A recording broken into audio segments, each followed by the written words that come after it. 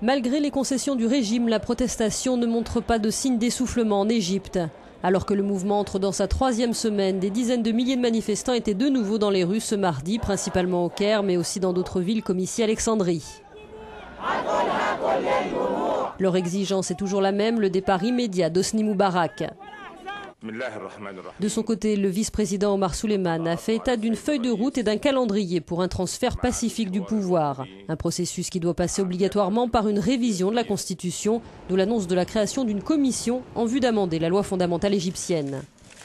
À la faveur du dialogue engagé avec l'opposition, le régime d'Osni Moubarak a également promis la levée de l'état d'urgence et la libération de prisonniers politiques.